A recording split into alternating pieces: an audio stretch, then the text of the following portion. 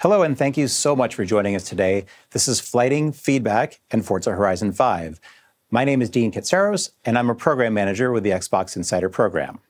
And I'm David Alexander, also a program manager for the Xbox Insider program. Later, we'll be joined by Ryan Halseth, a producer for Turn 10 Studios, to discuss his experiences while flighting Forza Horizon 5. Thank you, David. So, our agenda today is pretty simple. We'll talk about flighting concept and tools, We'll look at getting feedback using the Xbox Insider program. And finally, as David mentioned, we'll have a discussion about how Forza Horizon 5 has used flighting. So, what is flighting? At its core, it's providing content and experiences in retail, not a dev sandbox, uh, the same env- pr- production environment as release games. So, why do you flight? Simply put, it's to get feedback and improve your game over time. So, when do you flight? The answer is pretty much whenever you want. You can do it before you launch. Uh, you can go way before you launch. All you need is a, a stub file, uh, a blank build, if you will. Uh, you publish to retail, you get a few people to test it out, and off you go. And you can flight after you launch, continuing to get feedback from your users and improve your game over time. Whether you flight before or after, or both, it's entirely up to you. We've had many titles that have flighted with us in a variety of combinations, including some that have spanned the entire life cycle of their product. So, this is all great, but it's no good if you don't have the tools to ensure your flight is secure. With Partner Center, those tools are available to you, and it really is central to how you flight. When configured correctly, only your intended audience will see your flight. So we have a number of tools that are available to you you can take advantage of. You can see on the right side, we have private audience that hides the game from the store, except for those uh, who have access. Uh, tokens and codes are a tool. You don't always have to have them, um, but if you do and you're using the Xbox Insider program, they can be hidden. We have embargo. This hides Xbox social features such as uh, presence, uh, last game played, achievements, and so forth. And then you have a choice of using a separate product or package flighting. Using a separate product means you're using a completely distinct product from your main game. Whereas package flighting means you're using a different build of your main game. You can go either way, and there can be a variety of reasons why you would pick one or the other talk to your partner manager, and they can help you decide which is right for you. All right, so the other part of how you flight um, is discussing two methods for doing so. At the core of it, we have Partner Center. This is self service, good for small audiences, and you can take advantage of those security features I mentioned previously. And then we have the Xbox Insider program. With this, the core aspects of flighting available in Partner Center are taken to the next level with some really great features you can take advantage of. One of which is being able to easily expand to large audiences, which brings me to my next slide about who you can flight to. You can start with any group of individuals that you manage yourself. You can start with your studio, maybe have a core group of fans you want to give access to uh, before you announce. MVPs, influencers, friends and family, the choice is yours. And then we have sets of predefined groups you can take advantage of. We have a group of Xbox employees and a larger group of Microsoft employees, all under NDA. And you can cap that to any number. If you want to limit it to 1,000, 2,000, you can do that. And then we have our public insiders for when you want to go much bigger. If you want, you can segment that group to those who have pre ordered your game or who own your other games. Uh, if you're planning on launching into Game Pass, you could grant early access to Game Pass subscribers. If you need to limit to certain console types, such as Xbox Series X consoles only, we can do that too. And again, we can cap to any number. As I mentioned, those groups are available when you flight with the Xbox Insider program. And with that, I'll hand it over to David to talk more about that program. In the previous slides, Dean talked about what flighting is and why you should consider it for your game. Microsoft Partner Center offers a powerful and easy to use feature set that allows you to manage your own pre release process on your own schedule. I'm going to talk about what your studio can unlock when you flight through the Xbox Insider program. The Xbox Insider program is a managed service. It's available to you at no extra charge as part of the Microsoft publishing ecosystem.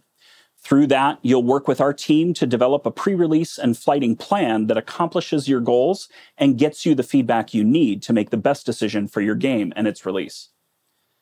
Along with your partner manager, Xbox Insider Program staff will answer questions about your game's configuration, the audience you wish to reach, and help develop a plan to get bug feedback, surveys, and player sentiment.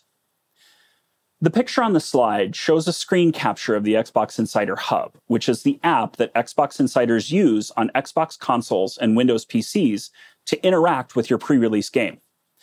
The join mechanism is very easy. Users will navigate to that flight, select it, and will then see a join button on screen.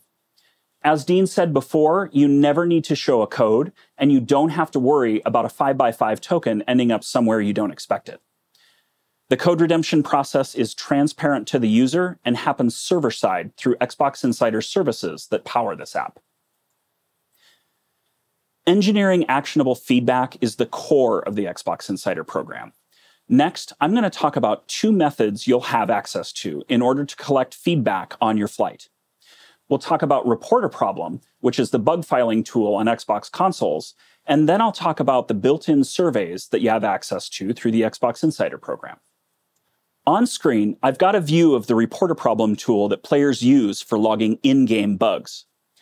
Players will use this form to record a title for their bug, categorize it to your game in flight, and can then add a description that will detail the unexpected experience that they had. You'll see on the right side of this screenshot two additional pictures. One is the actual frame on screen when the player initiated report a problem, and the bottom picture is a video clip accessed from Game DVR that shows the last 30 seconds of gameplay. Links to both of these will be included in your bug report, so you'll be able to see exactly what the player saw when they filed this problem report. I just showed you what the user sees when they file a bug, but what do you get to see once these bug reports come to your studio? Well, on screen, I have a picture of an entry in the bug feedback report that you'll have access to. This picture shows a table that contains some metadata, including an identifier, when the bug was filed, where the bug was filed, certain app and OS versions, along with the hardware type that the bug was filed on. You'll notice in this table that there's also a link to the attached screenshot and video that I mentioned earlier. At the bottom of this entry, you see the actual verbatim that the player recorded in their description, detailing the unexpected circumstances which caused them to file this bug. Now, because the Xbox Insider program is a global program with millions of players all over the world, of course we have insiders that don't speak English as their primary language. Through Microsoft Translation Services, built right into Report a Problem feedback, we use machine translation to convert this verbatim into English, which is easier for some studios to read and understand. As you can see from the picture on screen, we've converted this bug feedback entry from French to English, right in line with the original report. In addition to bug feedback, you'll have access to the Xbox Insider Hub's easy to use survey capability. We worked closely with Xbox Research to identify six priority areas that studios most often request feedback for and turn them into standard surveys within the hub. These surveys don't require any extra work to set up and are pre localized to all Xbox markets. These areas include satisfaction, gameplay, multiplayer capabilities, game controls, approachability and ease of use, and accessibility. Because visualization is a powerful tool for understanding large sets of data at a glance, we chart these answers for you and display them in your studio reporting. On screen, you'll see two pictures both are pie charts that break down a set of responses into areas represented by player answers. Both of these charts indicate the survey question and have aggregate response metrics at the top and the answer breakdown in the chart area below. These charts give you a quick view of what your players are thinking and feeling while they engage with your flight. You'll have access to all this feedback reporting when you flight your game through the Xbox Insider program. on screen, I have a number of titles that have flighted with us in recent years. In total, we flighted over 40 titles just from our first party studios alone. In addition to those, we've flighted hundreds of third party titles over the years as well. One of the titles on the screen is Forza Horizon 5, which is a great segue to bring in Ryan so we can talk more about that one. Ryan, thank you so much for joining us. Uh, go ahead and introduce yourself and uh, tell us what you do. Yeah, I'm Ryan Halseth, producer at Turn 10. Um, primarily focused on flighting and release management for the Forza franchise. Specifically, worked on the releases of Forza Horizon 4 and Forza Horizon 5. Awesome. So uh, on the last screen, I showed all these Forza Horizon titles that have gone through flighting in some form or another. Uh, uh, two and three were actually flighted as content updates for the Xbox One X, I remember. And then uh, Forza Horizon 4 and 5 went through flighting all up, beginning to end, uh, the whole thing, right? Mm-hmm. Yeah. And so if we look at Forza Horizon 5, the most recent title, um, tell us about how you approached flighting from the beginning as you were planning this all out. It's a great question. So we focus on flighting super early on. It's really at the beginning of pre-production. Um, right when we decide to spin up a product and partner center, we spin up our flight. And there's a, there's a couple key reasons for that. One, it aligns really well with how our development process works and our sprint planning. At the end of each sprint, we get a build into retail. We can test, make sure it's working, get our services behind it, make sure multiplayer's hooked up. We start thinking about Xbox Live a bit early on. Um, and then second is really, you know, we just came out of a, a, pretty bad pandemic. You know, hopefully we're we're at the end, near the end of it, and now entering into a world where we're in hybrid work, um, and really being able to deliver builds on retail kits at people's homes without having to worry about divvying up dev kits and just having that experience of, you know, if you have a PC, you have an Xbox, we can get builds up in our developers' houses, production uh, team houses, get them playing the game early on, and we see that as super valuable um, to get their game really up and running retail as soon as we can. Uh, earlier in the talk, I mentioned how you can flight with uh, Partner Center mm-hmm. or the Xbox Insider Program or both. Uh, so, talk about how you made the decision on which way to go for that. Yeah, I know. I think you know if you have a smaller studio, it, it makes perfect sense. You know, utilize the tools in Partner Center, you can get a, a, build up and running super quickly and, and just get up and flight, get it up and running in retail. Um, you know, for us, I make the call early on to utilize the Insider program. We find a lot of value in interacting with the Insider team, um, you know, working through the plans and our goals of what we want to get out of flighting. Um, and then also, you know, we have a lot of great documentation and, and a lot of the team has used inside Insider Program. So it's, you know, just grabbing gamer tags or emails associated with those gamer tags um, and easily entering them in and boom, right there, people are downloading their builds. They're engaging with our flight early on. So, you know, there's plus and minuses each way. We, we really enjoy using the Insider Program. So as you progressed mm-hmm. using the Insider Program, the you started really early. Mm-hmm and you progressed your your, your audience got bigger and bigger. Um, so maybe talk to that and just how how how you did that audience progression. Yeah one of the reasons why we utilize Insider program early on is we know we're going to eventually scale. Um, so a good example of that when we first kick off flighting early in pre-production as we talked about earlier it might only be you know a few engineers and release management in there you know make sure everything's hooked up correctly uh, making sure that you know the build pipelines are working like they want, like we want. Xbox Live's plugged in. Um, so really, it's a small group at first, um, just engineers, release management. From there, we'll bring in more of the production teams. We want more people to start engaging with the build, and we feel like we're stable enough to do so. Then we'll bring in, you know, all of Turn 10 and Playground Games, right? Start getting feedback from a wider audience. And then eventually, as we march towards release, we're expanding out to thousands of people through Xbox Studios. Um, and really leveraging that feedback from them and just kind of keep expanding the audience. And really, the Power of Insider program allows us to do that because it just easily scale through the process. Right. And then, so during that process, you've got, you said thousands of people from, mm-hmm. from internal studios mm-hmm. prior to launch. Mm-hmm prior to announce, I think, in some cases. And, mm-hmm. and so you had to keep everything secure and hidden. And I, I, talked about the tools that are available. So how did that go for you?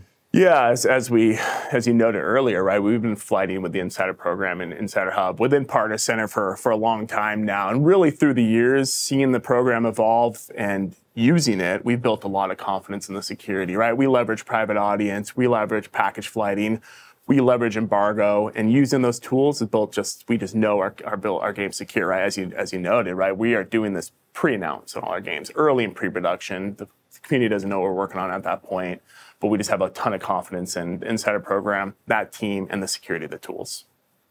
And so the last thing i want to ask is i remember when we started you, you came to us about forza horizon 5 flighting and you've developed a, a concept in the studio called Flawless Launch. Mm. Uh, so talk about that and how that relates. Yeah, Flawless Launch is kind of our North Star. It's what we strive for. Um, and really the way to think about that is, you know, we want to make sure that at day one, you know, when people open the box, and maybe that's an old term now, we're more in the, the digital universe, you know, it's, you know, we're releasing it digitally across storefronts for the most part, but um, we want to make sure that day one experience is a solid experience. And really flighting helps eliminate that right? I always like to say in the release management world, don't assume anything. Assume's a bad word. So just you know get rid of that assumption through flighting because you're really getting things up and running in retail. Um, you're confirming that your services are up and running, your multiplayer is, is up and running, and that on day one when people first jump in at midnight, wherever they are in the world, when you do that launch, that is just a great experience for them. So that's our goal, and it's really a, a total studio effort across all our studios. And uh, yeah, flighting really helps us achieve that. That's a that's a really cool philosophy, Ryan, of flawless launch.